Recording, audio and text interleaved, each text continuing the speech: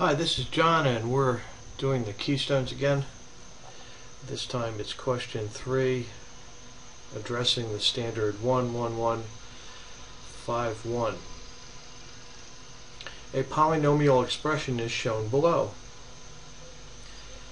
m x to the third plus 3 times the quantity 2x squared plus 5x plus 2 is equal to 8x to the fifth plus 20x to the fourth.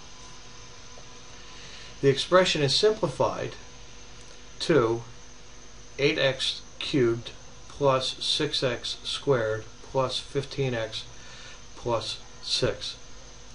What is the value of m? Well, there's a slow way to do this and then there's the fast way to do this. I don't really want to go uh, through the, the long way of doing this, so let's do this the fast way. Notice that there is something odd about this one in that we have this m that they want to figure out what this is. Now, we could take that m as any other variable and multiply this all out and try and subtract it and then solve for m. That would be a mistake they have no intention of you finishing this time in any, in any reasonable time by doing it that way. What you need to do is to realize that you are multiplying everything in this section by everything in this section and creating some kind of big long polynomial here and then subtracting this 8x to the fifth plus 20x to the fourth. But notice in our answer, the expression is simplified to, there is no x to the fifth or x to the fourth variables, which means that they disappear.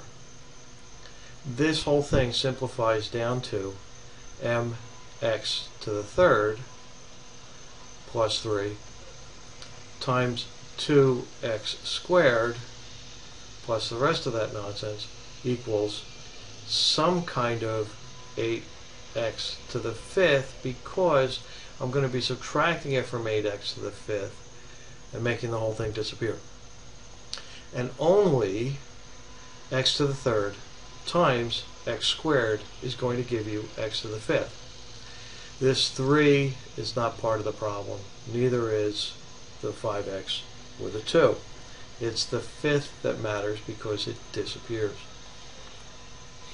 So, you ask yourself, well, what's going on here? If I've got mx to the third times 2x squared, and that's going to be equal to 8x to the fifth, well, that makes this problem trivial. Yes, it does.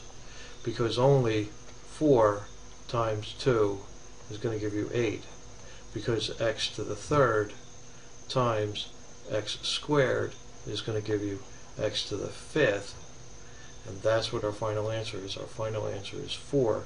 Please do not do this any long way and multiply this out. That would be a mistake.